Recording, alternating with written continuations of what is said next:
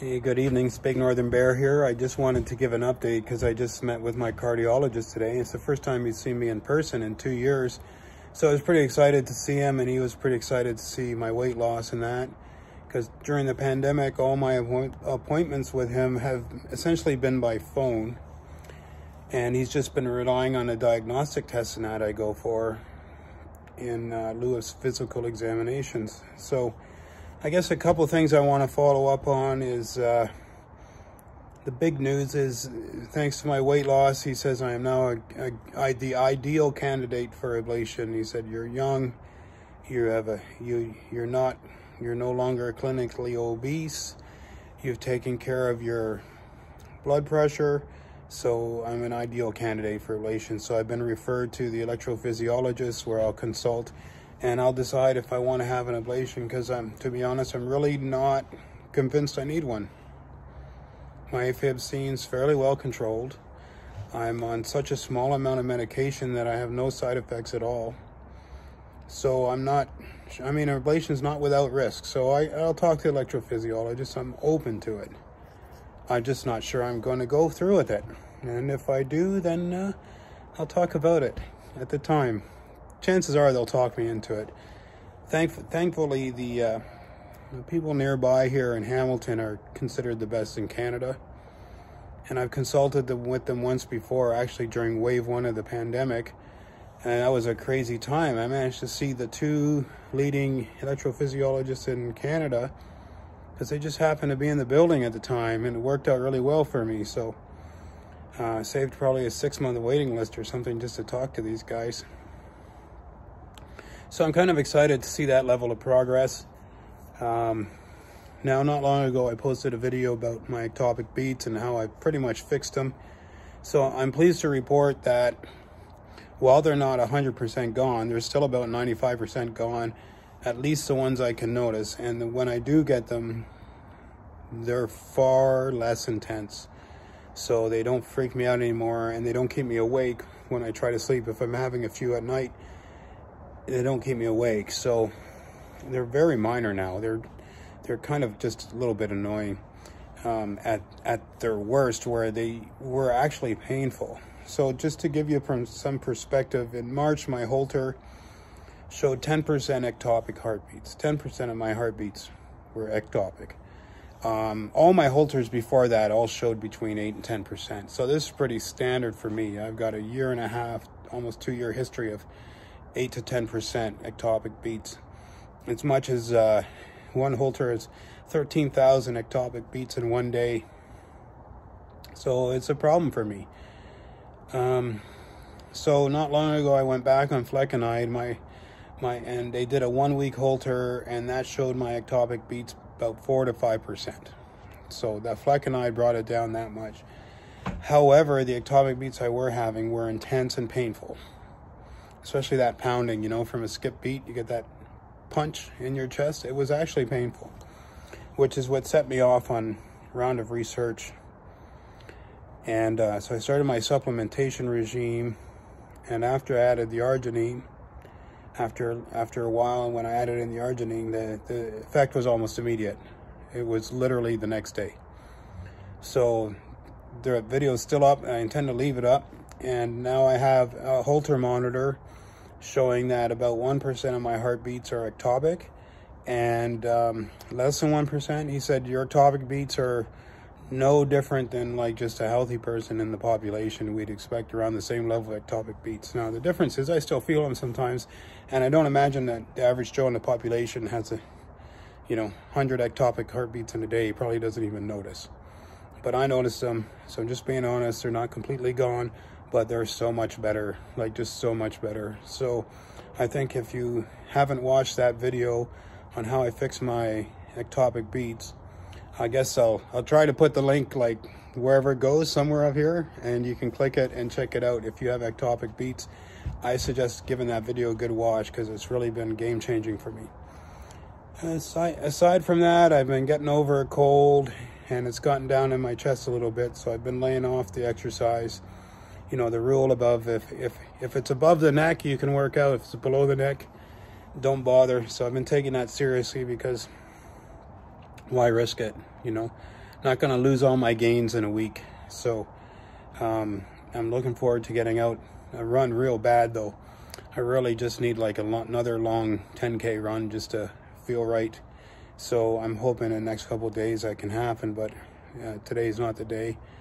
Um, so that's been good. I mean, I'm getting over it. It's not clinging or anything. I mean, I seem to be able to mount uh, an immune system defense to whatever bugs going around. It's not COVID. I took the test. Um, just been really busy, really hard to find time to edit videos right now. I'm trying to uh, just get better at it. I'm trying to do a better job each time I do one. So I end up taking probably twice as long as I need to. Right now I'm working on just trying to improve the sound quality of my videos. So you'll notice that that my last video, if you watched it, um, I've been trimming out some of my verbal tics. I've, I've, you know, when you start doing YouTube and you start actually watching yourself talk, you realize you have these conversational tics. You become aware of your speech habits you were never aware of before. And so uh, sometimes I watch my videos and I'm like, do I really talk like that? And I look at my wife, do I, do I actually sound like that sometimes? Yeah, you do. Okay, great. So uh, sort of some self-awareness uh, has developed here on some of my weird speech habits. Um, so, I mean, what can I say? I'm spent too many years in Northern Ontario and, you know, some time on the reserve and, uh, you know, you pick up some weird, weird vocal uh, habits. We almost have our own accent up north. So, uh, I still have some of that and uh, so watching myself on YouTube when I video editing has been a, kind of an eye-opening thing and and I think the last thing that I, I've really got out of being on YouTube that just carries me on is all the positive comments I get from everyone where I can just feel that when I share what I'm going through and what I've felt and what I've experienced and what I've learned from it, people just come in and they've they've drawn those same lessons or they said, oh, I, that that's happened to me or I never thought of looking at it the way you're looking at it and they leave comments on Facebook, they leave comments on YouTube. I just have,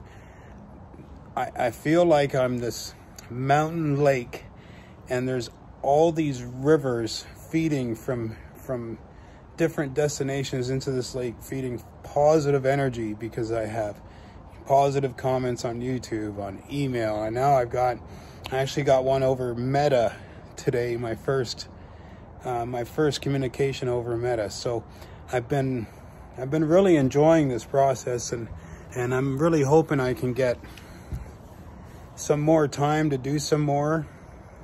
So, but I appreciate that there's an audience for the videos I do put out. And again, I, I do have another channel called Big Northern Bear Listen Runs where I just do like really quick videos off my phone and I just more talk about working out. But if you just want to see some more of what I'm up to, you could subscribe to that. So anyway, it's been uh, it's been fun so far. I'm here for the long term. I think I'm I'm going to keep making these YouTube videos and keep talking about what I've learned about AFib and living with AFib and dealing with high blood pressure, diabetes, sleep apnea, all these things that I've resolved. And uh, hopefully, you know, I guess, I guess the big thing that I saw this week was someone telling me, I watched your video on that treadmill was a kick in the ass I needed to get, to get back in the saddle. And, and that's not the first time I've had a comment like that, but man, that's the ones, those are the ones that, like, I just think if I hadn't put something out into the world, what would have kicked this person's butt? What would have motivated them? Maybe, maybe this was it. Maybe this was the one thing. So I don't know, but I, I think for me, this is kind of a karma project. And so when I put that out into the world and I get feedback like that back, that's just that means a lot to me. And uh, my wife she reads those comments and she just loves it when people talk like that. Makes us both very happy and uh, makes makes me feel like it's worth it. I mean it's a small audience. I mean i'm never going to have a million subscribers and i don't much care. But the people who watch my channel they have they have a, some serious health issues and and maybe we're a niche group of people but um, you know, there can be a place for us, right? We can just keep this growing. So again, thanks for watching and sorry to be a bit rambly and a bit unedited and a bit raw, but that's what I have time for tonight. And I just wanted to just lay this video out and give everyone an update, talk about my AFib uh, ablation referral and my ectopic beats going down and share the good news that, you know, what I'm doing is working for me and I feel it's evidence-based. So I put the links in the videos where, where they're needed and, and maybe it's something you can talk with your cardiologist and, and try some of the things I've done. And, uh, and I, I wish you all the best and keep sending in the feedback and keep, keep sharing your stories. And if you tried anything I've suggested and, and you've had good results or bad, come back and share them with me. Much appreciated. Okay, Big Northern Bear signing out. Have a great night.